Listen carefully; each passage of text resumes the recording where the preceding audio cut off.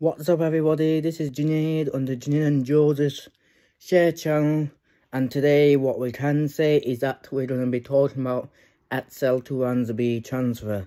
Now he was on a loan deal to Aston Villa but then Napoli wanted him, not, not a buy option, not yet.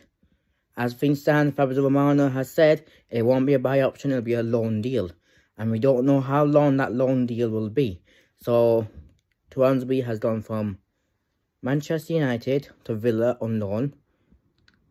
And now he's gone from Villa to Napoli on loan. And then some people say now, will Villa now get relegated?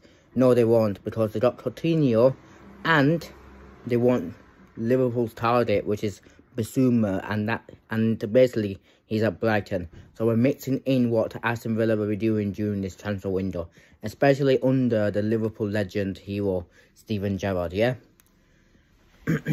um. So yeah, guys, that's what I can say.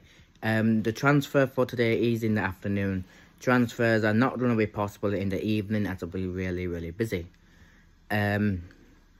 Let me just tell you guys is this. We did a joint update yesterday because obviously it had to be done due to one day missing. If if we're now gonna miss one day, we have to do a joint update together.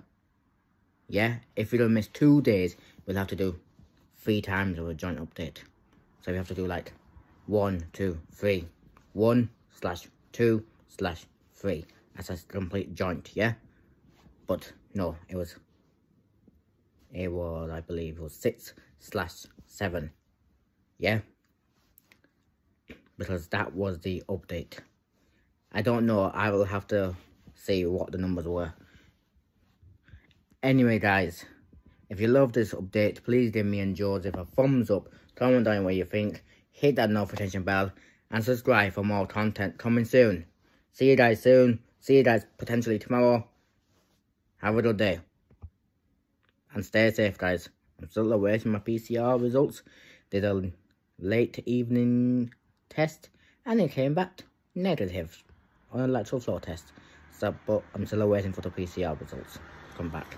See you guys soon on the uh, Junaid and Joseph's share channel.